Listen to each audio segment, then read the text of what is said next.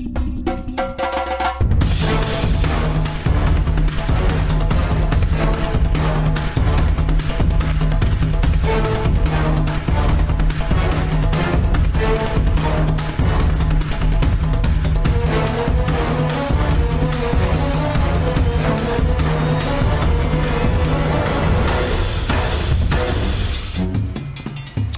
Live from the SABC's Auckland Park studios, welcome to this week's uh, first edition of The Watchdog. My name is Vuyo Mvoko, and on the show this evening...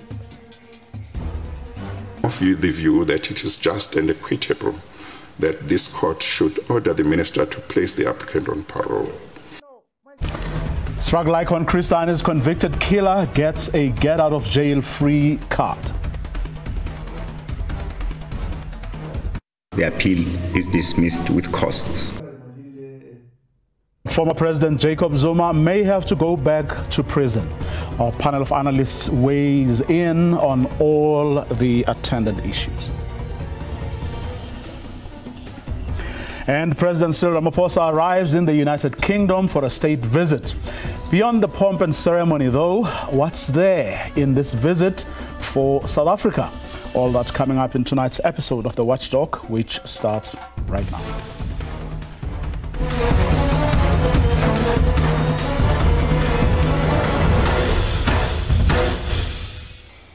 The Supreme Court of Appeal in Bloemfontein has ordered that former President Jacob Zuma must return to the Estcourt Correctional Center to finish serving his sentence.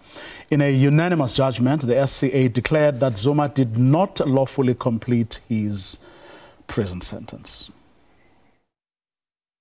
The SCA has upheld the High Court order which declared Zuma's release on medical parole irrational, unlawful and unconditional. The appeal court says it's up to the Correctional Services Commissioner to determine whether the time spent by Zuma on unlawful medical parole should be considered in determining the remaining period of his incarceration. The appeal court ordered that if the law permits, the Commissioner may consider the disputed period when determining grounds for Zuma's release. The court has declared that former Correctional Services Commissioner Arthur Fraser was not legally permitted to release Zuma on medical parole without the positive recommendation of the Medical Parole Advisory Board. It also ruled that Fraser relied on irrelevant factors to justify his decision. Among others, Fraser considered Zuma's advanced age, his status as former head of state, and subsequent civil unrest. The SCA has further lambasted the Department of Correctional Services for releasing a media statement stating that Zuma had completed serving his sentence on the 7th of last month. This happened while the appeal court hadn't yet determined whether Zuma had lawfully completed his sentence. Zuma was handed a 15 month prison sentence by the Constitutional Court in June last year after he defied its order to appear before the State Capture Commission. The order of the judgment reads as follows 1. Paragraphs 5 and 6 of the order of the High Court are set aside. 2. Save for the above, the appeal is dismissed with costs. 3. The first and second appellants are ordered to pay the costs of the first, second, and third respondents jointly and severally, the one paying the other to be absolved. The costs shall include the costs of two counsel. The SCA confirmed the powers of the Medical Parole Advisory Board the board was established in 2012 to constrain what was deemed to be unfettered powers of the Commissioner of Correctional Services. The appeal court ruled that matters relating to how inmates serve their sentence when and who qualifies for parole should be determined by the executive of the department. The court says the matter implicates the doctrine of separation of powers. Magala Masiteng, SABC News, Bloemfontein.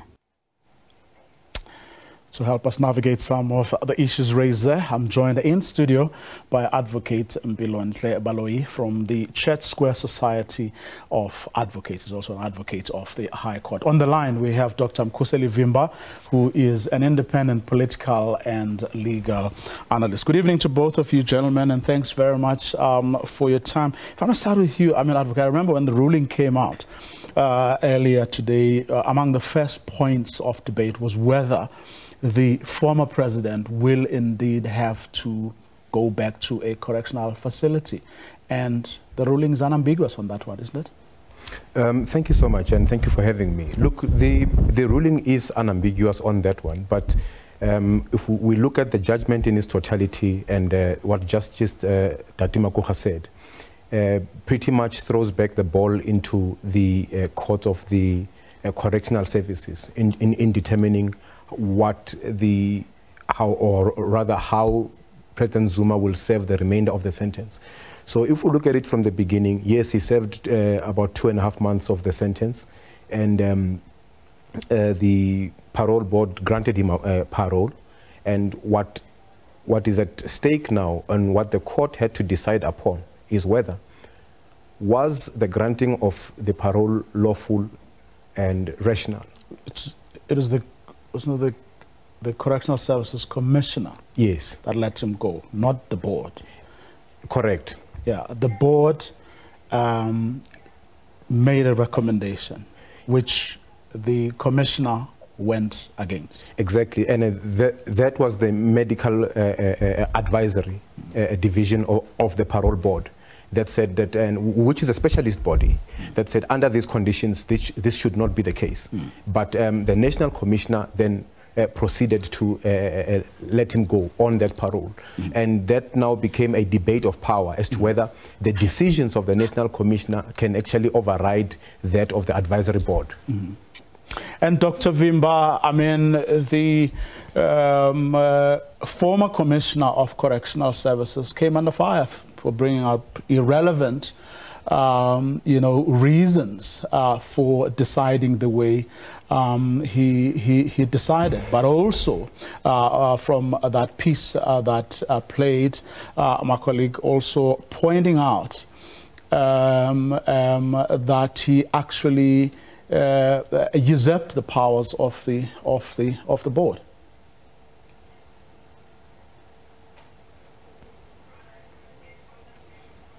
Okay, he's, he's, he's frozen. Uh, now, uh, among the things, that, I mean, the, the, the, the, that was pointed out was that um, um, the, the former Correctional uh, Services Commissioner, um, one, went against, which is a point we, we, we, we touched on that now, just now. Uh, but also, I mean, as uh, says, he brought into, uh, as a basis of his decision, uh, things that were not relevant? Sure. Um, look, we, we, would have to, to, look at the entire recommendations um, of the Medical Advisory Board mm. and say this is what they had said and this was what was actually considered. Mm -hmm. And the main basis for the release of President uh, Zuma was um, upon his uh, medical condition, mm -hmm. uh, which we were made to believe still subsists, it still continues, it's, it's still an existing position. So um, in determining that and going against, so the, the gist of it is that going against the decision of the advisory board was the incorrect thing that the commissioner had done. Mm. Therefore, the court then says that indeed then President Zuma needs to save the remainder of his sentence. And the problem also being that um, the portion of his sentence that was served um, up to September, which would mark it the end, was served during the process of the appeal being ongoing. Mm. Therefore, by virtue of that, the court then says, no, um, you, he must then save, serve the remainder of the, this sentence, which would be about 11 or 12 odd months. Mm. But as to how he serves that remainder of the it sentence, be at the discretion it will be at the discretion of the commissioner. Mm. Now, if it's sent back to the same commissioner uh, uh, uh, that ruled um, otherwise, or rather ruled in favor of, of President Zuma, um, it's, it, it, it, it's quite interesting what result we can then anticipate from that mm. um, as to which way this thing would, would swing. Mm. But again, beyond that, uh, this is in the Supreme Court of Appeal, and there's still um, another uh, bite on the cherry, uh, being that it, it, can still be taken on appeal to the Constitutional Court. Mm. And pending that uh, procedure of taking it to the Constitutional Court, uh, President Zuma will still be out, outside. So um, it's two things now that we need to consider. Um, what the the commissioner will, will decide as to how he will serve the remainder, and uh, uh, procedural processes insofar as the going to the constitutional court is concerned and which is also interesting also because going back to the going to back to the constitutional, court, court because decided it today? came yes um, the, the, the, the, contempt proceedings mm. took place in the constitutional court mm. so now it would also be interesting to, to, see that how will the constitutional court now uh, decide in this particular one mm. Uh, Dr. Vimba, I mean, he, what I was asking you earlier was, uh, uh, you know, some of some of the stuff that came out, um, being that um, the former Correctional Services Commissioner relied on irrelevant factors um, to justify his decision, um, like the age and status of the of the of the former president. Yes, yes, uh, Vuyo, you are correct. The, the, the court made it clear that, uh, in fact, before we were expecting the court to pronounce on whether Arthur Fraser had the power uh, to overrule uh, the, the, the board. I think my colleague, uh, my colleague has just expressed and emphasized that the, this panel of 10 is a panel of experts. So the court then uh, finds that the Arthur Fraser acted ultra vires. He did not have the powers to, to, to overrule the parole board. But if it was before 2012, when one medical doctor would make a recommendation and it's carried out, then that would be a total different story. But at this point in time, Arthur Fraser, uh, acted unlawfully, and his decision is unlawful and invalid. Then on, so. Well, on that one, then, on that one, um, is there then no argument to be made that, hey, the former president didn't just walk out of, you know, the correctional facility. Someone he thought actually had the power and authority to take the decision he took, did so. And that's how he got out of there. Uh, that's correct. That's where the issue of um, uh, principle, the principle of double jeopardy comes in because the law is very clear to say that you cannot be punished twice for one and the same mm. offense. And it was not uh, his prerogative that he is out of jail. Mm. Someone else uh, faltered and uh, he was released on bail. Therefore, it's not. Um, it can be his argument to say that I never walked out of, of jail on my own. Mm. Someone whom I believed to have the powers released me. Whether the person, that person did that correctly or wrongly, that's not my case. All what I'm, I'm saying is that I was supposed and I went out of prison due to that decision or based on that decision.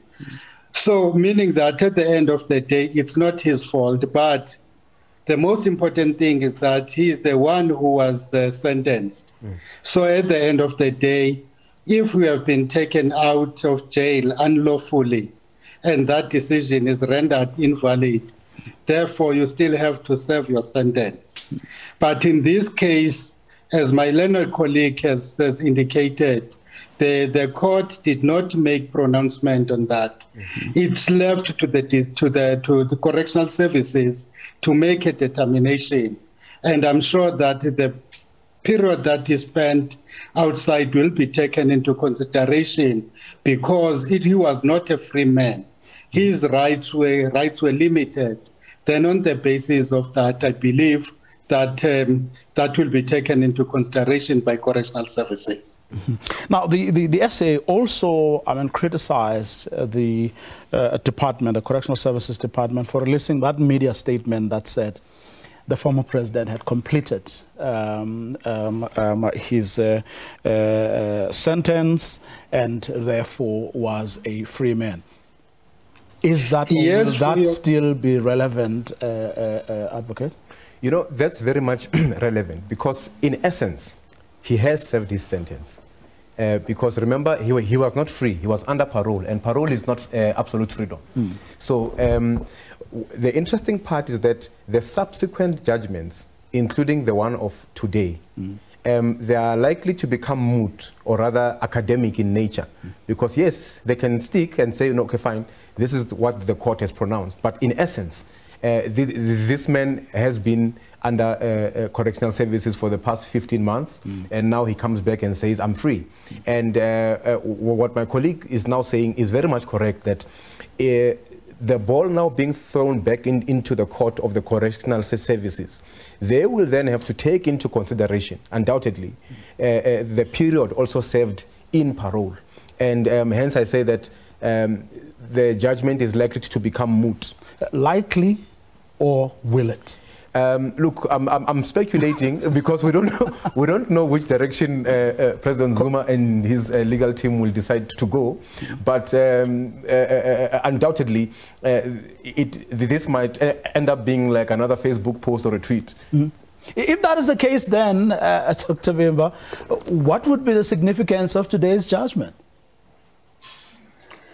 If, yeah. if, if, indeed, I mean, as advocate is saying, uh, in all likelihood, uh, this today's exercise may well be academic.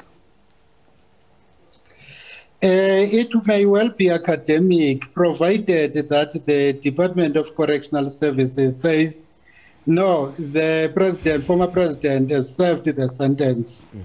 And um, taking that into account, because in reality, what is in condition is uh, just uh, one year, uh, 15 months, uh, one year or one and a half years. Then he served two months instead of three months. Mm. So the question then is whether will it make sense to send the former president back to prison for one month? And um, the, the answer then lies with the Department of Correctional Services to say, no, the, the principle of double jeopardy, this person cannot be punished twice. He cannot, because he was not free. Mm. Then that would be adding to the sentence and uh, that has been, uh, that has been given by the court. So on the basis of that, let's consider the time that he spent outside on parole because he was not a free man. His rights were limited. He could not do as he pleases. Therefore, on the basis of that, then we set him free.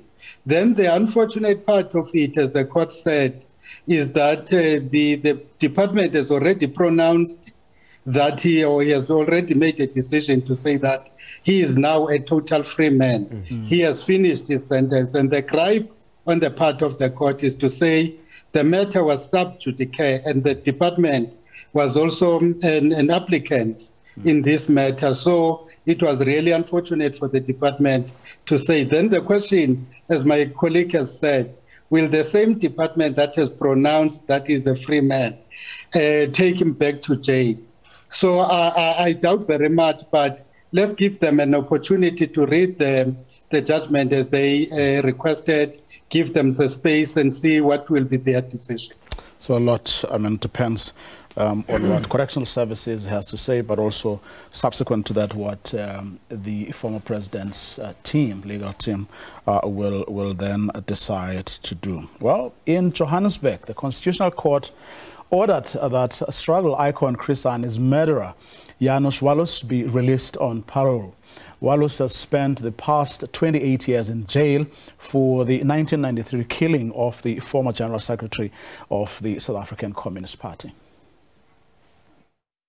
The Constitutional Court, in a unanimous judgment, has ruled that convicted murderer Janusz Walus be released on parole within 10 days. The Apex Court found that the decision by Justice Minister Ronald Lamola to deny Walus parole in 2020 was irrational. Walus, a Polish immigrant, shot and killed then South African Communist Party Secretary General Chris Hani in 1993 at the cusp of South Africa's realization of democracy. Hani's murder shook the country with fears that his death would lead to a civil war. Walus previously made five applications for parole and says he is reformed.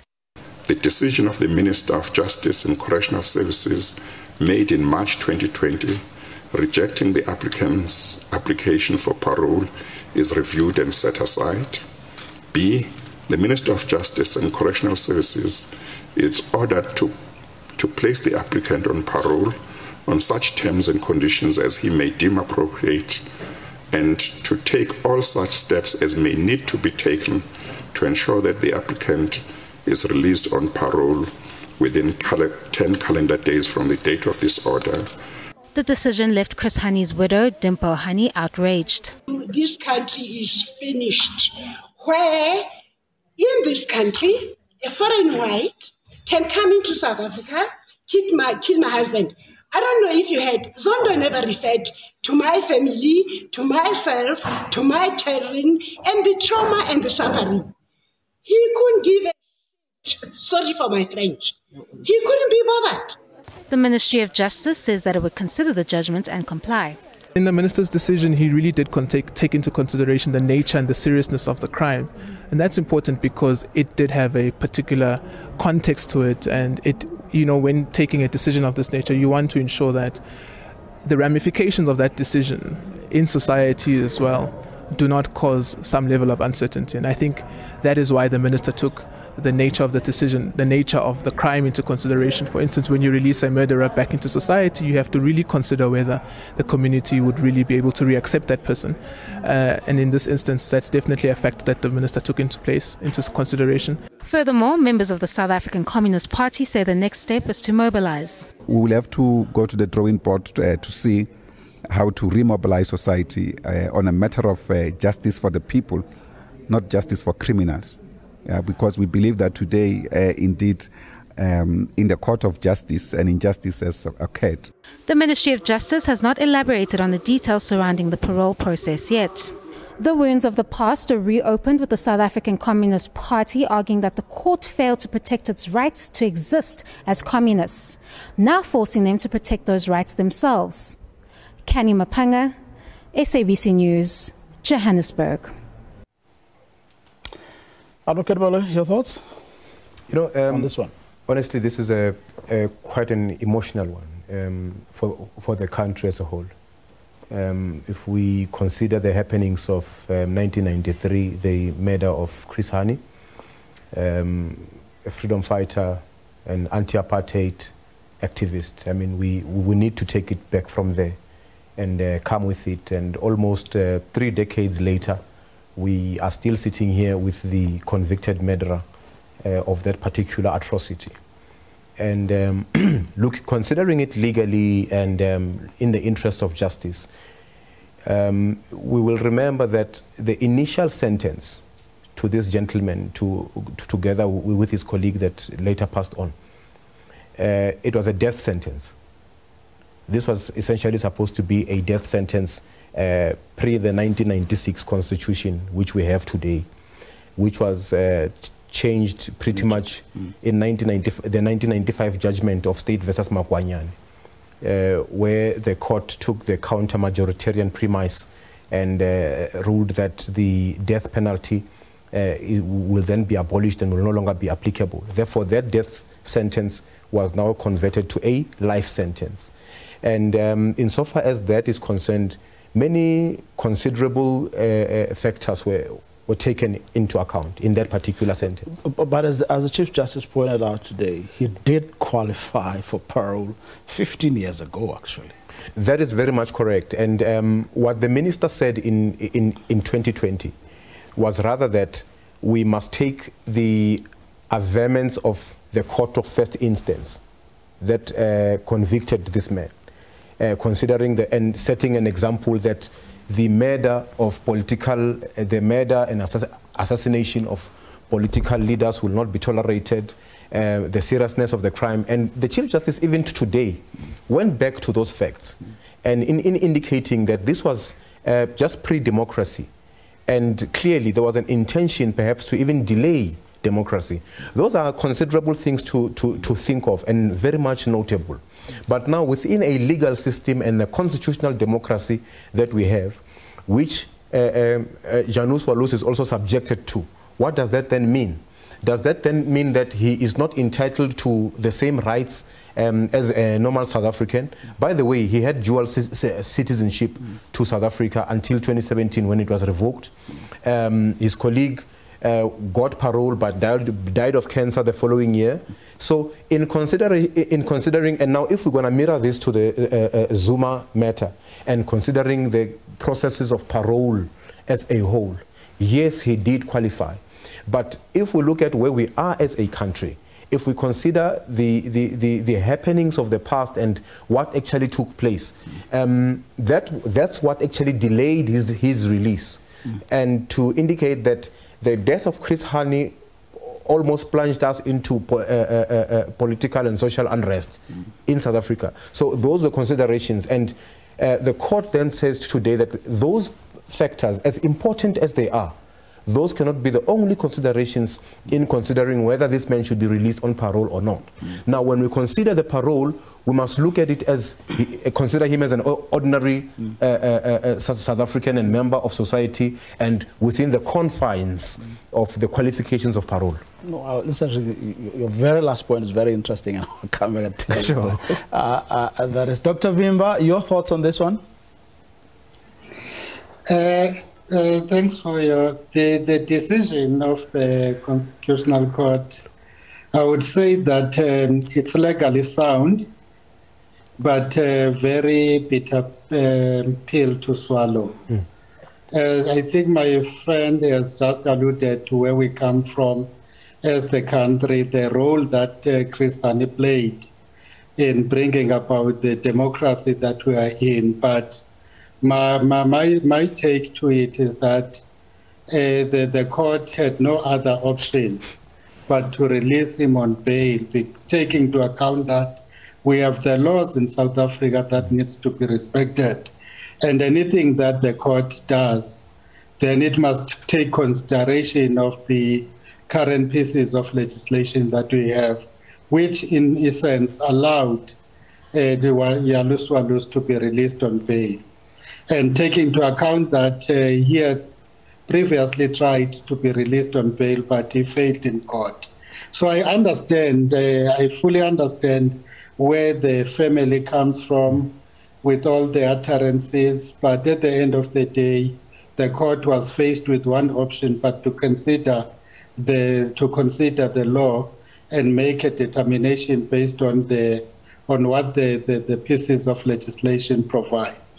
So, on the basis of that, for me, it is a sound uh, legal decision, but politically, it's, it's really difficult uh, for, for everyone. Uh, does that matter, though, um, um, Dr. Vimba? Shouldn't the law be blind? Yes, the law should be blind, as I'm saying that uh, we, we need to accept the decision of the court because I don't see how else they would have dealt with the matter other than releasing Yalus Walus. And the other thing uh, that we also need to take into consideration, even if we did not have today's judgment, he is left, I think, with one and a half years before he is, finishes his sentence. What happens in, in, in a space of one and a half years? He would be out. And what other means were we, were we going to utilize or use to take him back to jail? None.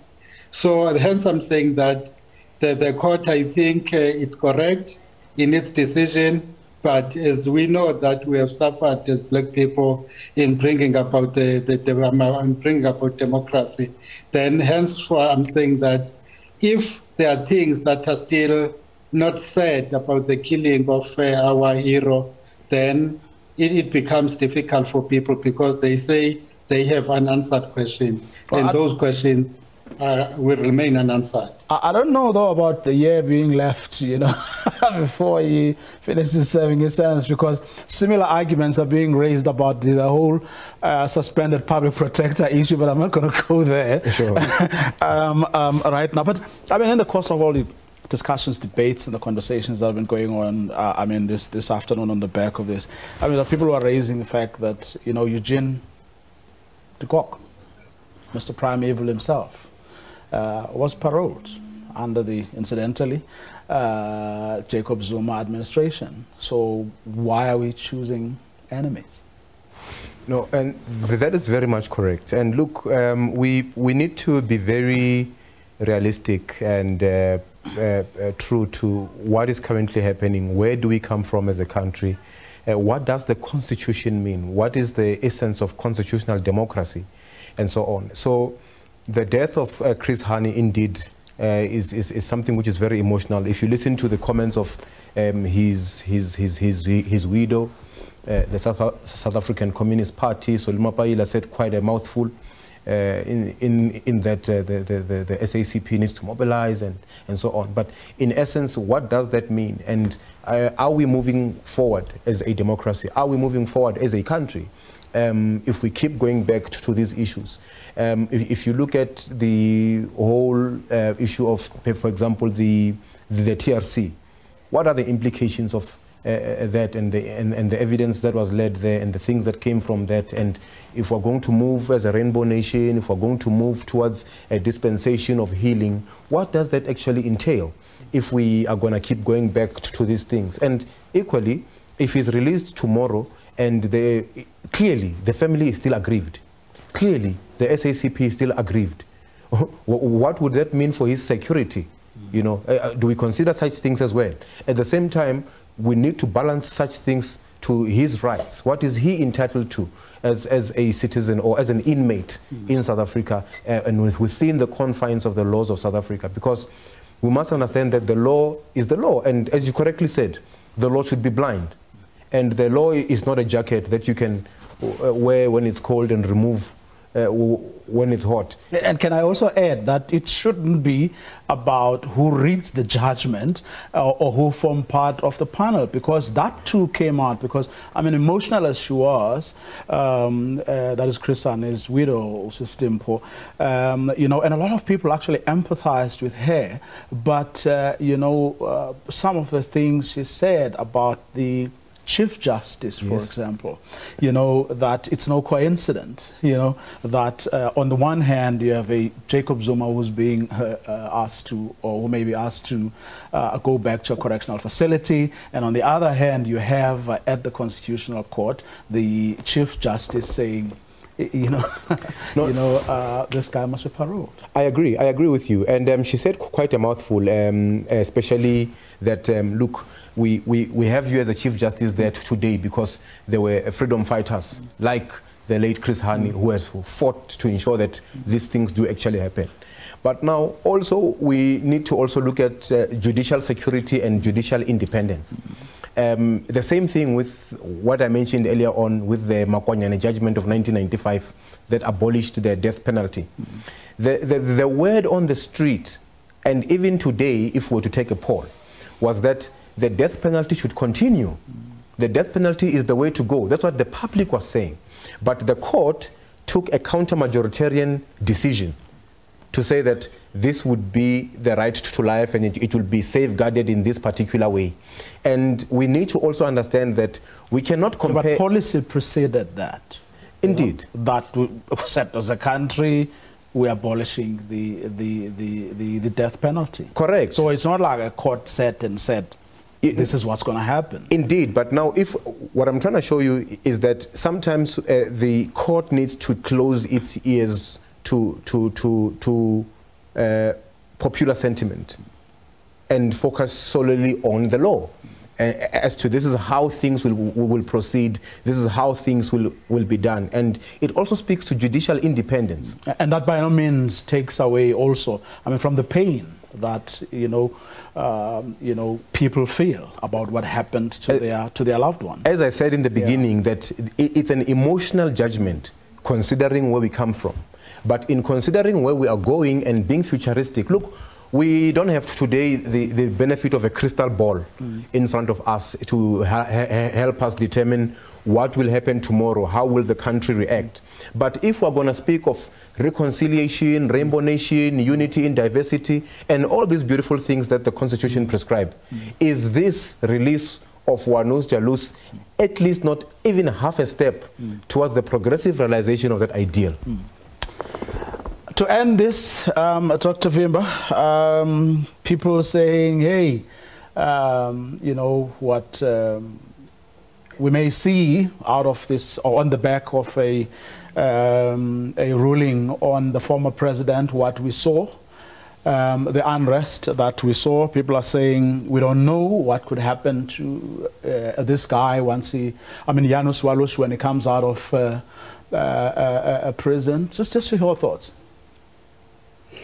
Uh, uh, thanks for your. I, I, think the I fully understand the the, the anger and the pain that the family is going through, but I think I align myself with my colleague to say that uh, we just need to move on as the country because mobilizing people uh, to do what and um, and also talking. Um, um, uh, uh, the way the, the family talk about the, the judiciary, those things are the ones that um, are, are, holding the country back.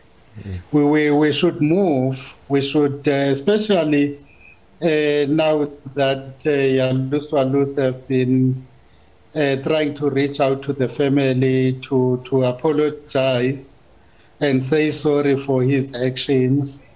Uh, for me, that should be one of the important things that the family should consider and um, and just uh, leave it at where it is. The, the, the, we all feel the pain, but at the end of the day, it is very important that we, we move forward as the country. We don't have to, to hold back on things or on the past. Mm-hmm. Then the rainbow nation that the, the, the, my colleague is talking about Okay, let's also leave it there, uh, Dr. Vimba. Uh, Dr. Vimba, an independent political and legal analyst, and with me in the studio, thanks to you too, Advocate Baloyi, who is, of course, a member of the Church Square Society of Advocates. After the break, President Cyril Ramaphosa arrives in the United Kingdom for a state visit. But beyond the pomp and ceremony, what's there in this visit for South Africa?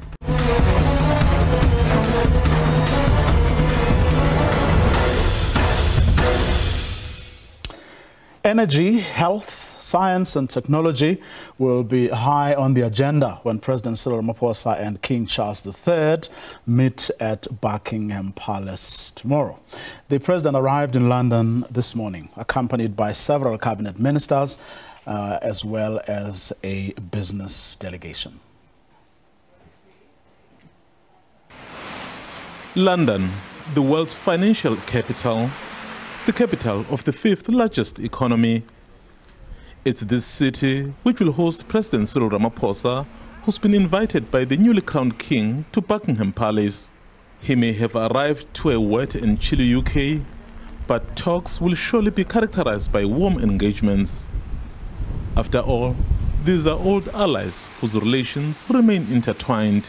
Our president uh, is very pleased to have the opportunity to indicate to His Majesty the very strong collaboration that exists between South Africa and the United Kingdom and to uh, emphasize uh, new areas of cooperation that I know His Majesty would have a great interest in, such as the uh, uh Just Energy Transition Plan, uh, of which the United Kingdom is one of the uh, international partners. The president arrives in UK while the country battles rolling blackouts. Something certain to form part of the talks as the country seeks to boost its energy capacity.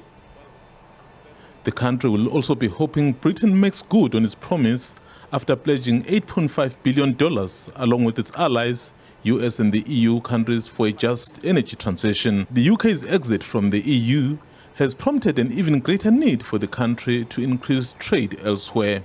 With its advanced infrastructure, South Africa remains the gateway to the continent for many countries. Our scientists have collaborated uh, very smartly uh, with respect to COVID 19 uh, variants and other areas of uh, biotechnology where we cooperate. Uh, the headquarters of the Square Kilometre Array are in the United Kingdom, and our scientists are working together to build that mega uh, radio telescope. So there are, you know, I think key areas that we will uh, uh, give emphasis to uh, during the course of the visit. You will see uh, events that the President will attend, uh, accompanied by other ministers, accompanied, I'm sure, by other members of the royal family, that will tell a story about the economic partnership between our countries, but also partnerships in areas like health, science and innovation, education, research, skills. as the two countries, we work very, very closely together on these topics looking to deliver inclusive economic growth in both countries, jobs and investment for both countries. As is tradition, there will be pomp and ceremony to mark the visit, but beyond that, substance will be the order of the day when President Ramaphosa meets his British counterpart and address a business gathering of the two countries. Not only is UK renowned for its architectural history, it's also been central in the creation of Western culture something not lost to South Africa as it seeks to exploit opportunities and benefits presented by this global power. Mzwandile SABC News, London. My guests for this conversation are Professor David Munyai, who is Professor of Political Science and International Relations at the University of Johannesburg. Dr. Charles Singala is an independent international relations expert. Good evening to both of you, gentlemen. Thanks very much uh, for your time. I want to start with you, uh, Prof. Munyai, if I may. First world leader to be hosted by the new king, does that mean anything? Should we read anything to it? Or does it happen to be be a mere coincidence? I would say yes uh, and no. Um, firstly, uh, uh, this was on the books uh, before COVID, and um, the late uh, Queen, uh, when when she passed away, it also delayed, and now the new King has to kickstart, and and one can imagine will take anything according to schedules uh, but it, it, it, it also quite uh, important, I think, for him to have a black president, an African in particular, uh, instead of the usual um, suspects um, such as Canada, Australia, uh, your Anglo kind of uh, setting. I think it will, he will score more points in terms of the uh, the look of it, and, and the substantive issues that they're going to discuss, given the fact that this is the beginning of a monarchy uh, of uh, King Charles III, and, uh, and also a new beginning for a new prime minister. And therefore, I think these meetings will be critical to both leaders in, in the two countries. Dr. Singala, I mean, uh, the both, uh, I mean, King Charles and um, and his predecessor, you know, um, his, his mother, uh, were and are ceremonial heads of state. So should we really read much or put a great deal of emphasis on that particular uh, meeting done with Rishi Sunak, for example, the Prime Minister? Uh, well, uh, thank you very much uh, for having me and good evening to your viewers. Uh, thank you for the professor to highlight exactly the cause of the meeting uh, but uh, I have a different perspective in terms of the meetings that has been called not by the South African government, but the government of the United Kingdom, as it has been. We haven't forgotten that all former colonies of the British are still subservient and answerable to the United Kingdom, the supreme leaders who has negotiated uh, their way to pursue the new colonialism on the African continent. So we shall have seen uh, our leaders leave our places of governance, even if we have the funeral at home. Last time I checked that uh, in African setup and tradition, one does not leave their house when there's a funeral to go and attend another funeral. You can only leave once your funeral has been squashed for you to go and attend another funeral. Uh, yes, uh, President Cyril Ramaphosa, of course, uh, Prof, I can correct you there that he's not the only black leader uh, that uh, King Charles has met. Also, the president of Zambia, Hakainde Hichilema, visited um, past his coronation as the king of the United Kingdom. President Cyril Ramaphosa was also invited and called to be convinced uh, regarding the war in Ukraine and Russia. He was in the United States of America during the passing of uh, King Charles' mother, Queen Elizabeth. He did not attend. I think uh, this could be a chance and opportunity uh, for him to go and attend. I'm surprised that uh, President Cyril has taken almost all his cabinet uh, to go and attend this occasion. You know, I do not know where African leaders are going. You know, since the relationship and bilateral, yes, uh, uh, Minister Naledi Pandor has mentioned the achievement or advantages of bilateral relationships uh, between South Africa and the United Kingdom. But we only see this on the one-sided side. Is it a possibility that uh, uh, there is a chance that we've got ShopRite in the United Kingdom? Is there a possibility that we've got Shisanyama in the United Kingdom? Is there a possibility that we've got local entrepreneurs who are accessing the United Kingdom market? I shall leave that point to this point as we discuss further. Professor Munyai, uh, I mean, is it is it is it all that bad? Uh, not at all. I think uh, if you look at international relations, the art of foreign policy, it's a give and take. Uh, in this case, South Africa has a number of issues that it has to advance. Foreign policy is nothing else other than the advancement of your national interest. In this case, South Africa has a number of challenges that it faces. Not only the load shedding, uh, unemployment is very high, on health, and a number of other areas, and the call for investments in this country. And on the African continent, we have a crisis in Zimbabwe that UK is critical to the end of those sanctions in, in Zimbabwe. So this is in South Africa's interest to ensure that you discuss with uh, both um, the monarchy as well as the prime minister um, to ensure that uh, UK play and it, could play a critical role in easing some of the pressures that we have. And in return, UK uh, needs South Africa.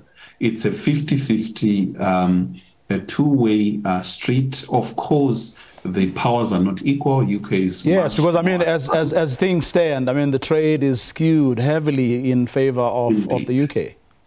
Indeed. But Sangala, so I mean. We, I, I, want to take you back, though, Dr. Sangala, to uh, I mean the point you raised earlier, um, asserting that we are still beholden um, to our you know uh, former colonial masters, but in very practical and perhaps new ones. So uh, just park the looking for or search for investments going forward, but just going backwards a little. Uh, in what ways? In, in what ways? Like, are, are, we still? Oh, you know, are we seeing this that uh, uh, these former colonies are still, you know, to their colonial masters? Well, you must African agitators of the independence of the Af African continent, not to win, you know, outrightly that we became in charge of our political and economic and social activities of our countries. There was an agreement, a negotiations. In South Africa, you call it truth and reconciliation. Uh, that uh, terms and conditions were attached to what they discussed uh, for them to relinquish the power. So it is not uh, something that uh, we have to forget about. We can see what happened in uh, Zimbabwe, just next door there in in in South Africa. Um, the agreement with the Robert Gabriel Mugabe, may his rest in peace, that the colonial masters shall continue collecting the colonial tax until uh, 2000, which was an agreement, and they entered into agreement and they got the political power. But uh, when Tony Blair came as Prime Minister of United Kingdom, he refused what his predecessor enshrined into the agreement. um, uh, that they should stop by the year 2000. Hence, you have seen what has happened in uh, uh, Zimbabwe. It is unfortunate that we do not see these facts, but these are things that are happening. And the, the core for what you've likely said and discussed with the professor that UK stands in a position to assist Africa from coming out of the slumber and difficulties and poverty and unemployment or whatever the dispensation, what is happening, it is not the UK who's going to assist. In fact, those United Kingdom, United States of America, and other other multinationals that we feel that they're going to assist us. They're not going to assist us because they are part of the system that fuels poverty on the African continent. To them, it adds on to their GDP. Africa but though, but though, uh, uh, but Singal, I mean, is it is it their fault or ours uh, that we don't sit around the table as equals and insist um, uh, on the things that make sense to us? And if things don't make sense to us, then we don't honor um, these these invitations. Isn't not as simple as all that? Why do we have to keep blaming them?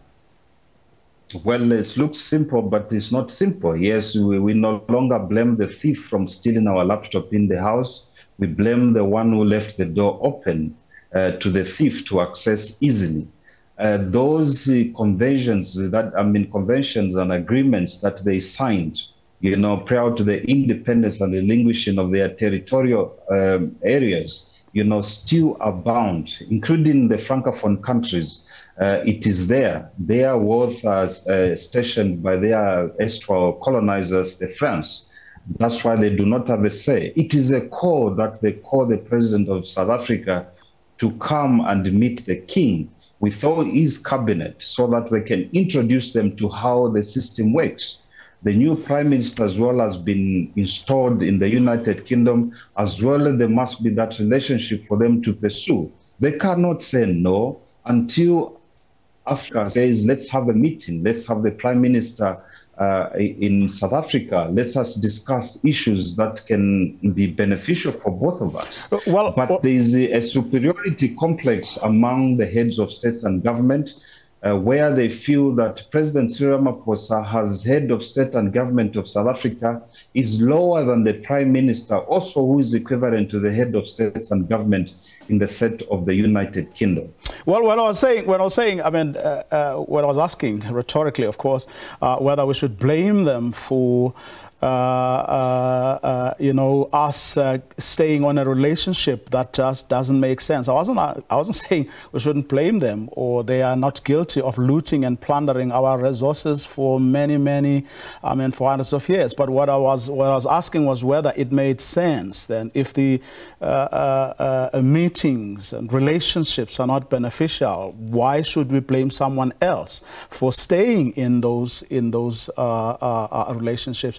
I don't know what your thoughts are on this one, uh, Professor Munyai. No, well, we, mu- we must blame we must blame ourselves mm. for finding ourselves in that situation. Mm. There's always time that we can come out from that slumber exactly. and stand at the discussion you know, with the our colleagues as diplomatic mission as per 1961 Vienna uh, Convention, uh, which clearly recognize the sovereignty of countries you know but our leaders do not behave like that that they have to be respected mm. i see some of them even down to other heads of states on the other side mm. but uh, having said that you know diplomatic relationships for countries is very important on the continent and outside uh, like what the professor said, we all exist as a unity in the world. We, as we exchange our bilateral and multilateral relationships, and as well as business. My only call is it has to be mutual you know, when we allow the UK to trade, we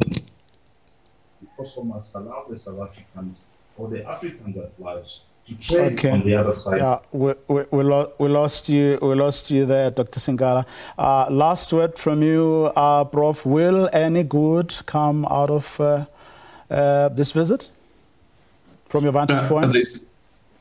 I think here you're going to have a number of issues where UK uh, needs us help from South Africa. It has left the European Union, and therefore there are a number of core interests where South Africa's and UK interests converge. And obviously, there are so many areas where uh, our interests diverge, and it is important for South Africa uh, sorry, not to rely only on Western countries. You need to balance. We have relationship with other countries uh, in the world, uh, Russia, China, Japan, United States, and therefore I think we need to balance um, our friends. Special thanks to both of you, Professor David Munyai, Professor of Political Science and International Relations at the University of Johannesburg, and Dr. Charles Singala, who's an independent international relations expert. That's our show for tonight. To join us again tomorrow evening, same time. Have a good night.